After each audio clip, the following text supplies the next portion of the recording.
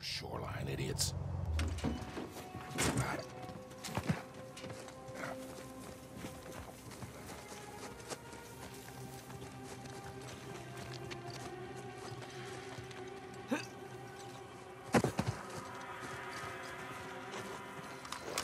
Huh?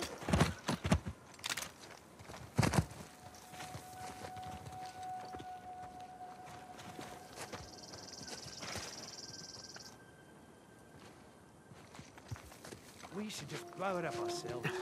If we happen to find the treasure, we just skim a little fine whiskey top. Don't even think about it. I'm not about to have Nadine hang me because of you. Yeah, there's definitely something down there.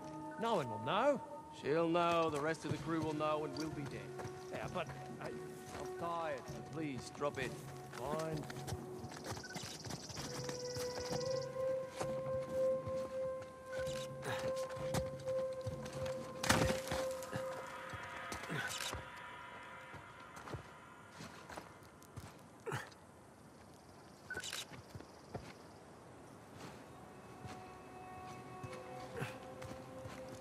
All right.